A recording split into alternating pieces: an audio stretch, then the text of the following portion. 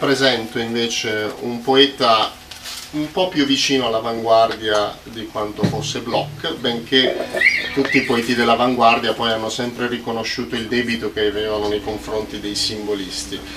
Uh, Igor Sivirianin uh, fu il più grande poeta di una piccola parte dell'avanguardia che si chiamava l'egofuturismo. Mm? Secondo questo poeta il futurismo era tutto incentrato sulla sua persona e egli stesso era come poeta un egoista sostanzialmente. Ma prima di diventare un egofuturista lui aveva scritto dei versi che oggi definiremmo versi da Belle Époque, in cui rappresentava praticamente eh, un mondo che viveva ultimi, l'ultima euforia prima della grande catastrofe, un mondo fatto di conti, contesse, champagne e scarpette da ballo che viene ben rappresentato nella poesia che presentiamo che si chiama Chanson Coquette.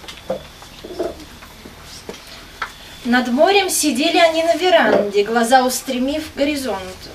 Висконт сомневался в своей висконтессе, она доверяла Висконту. Не пели, но пели веселые синие волны вечера, юж... вечера южного влага. И пела душа, танцевавшая в море, доверие – высшее благо. И песнь поднималась легко на веранде, смущение верилось зонту. Висконт целовал башмачок висконтессы, она отдавалась Висконту.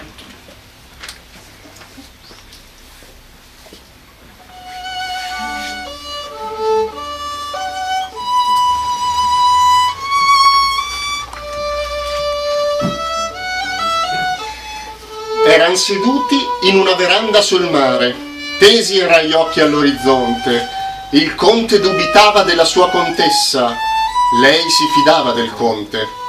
Cantavano allegre le onde blu e l'umidità in questa sera del sud e l'anima cantava danzando nel mare non v'è miglior cosa che la fiducia e un canto leggero si diffondeva nella veranda. Sotto quel tetto giusto un po' d'imbarazzo. Il visconte baciava la scarpetta della contessa. Lei si stava concedendo al conte.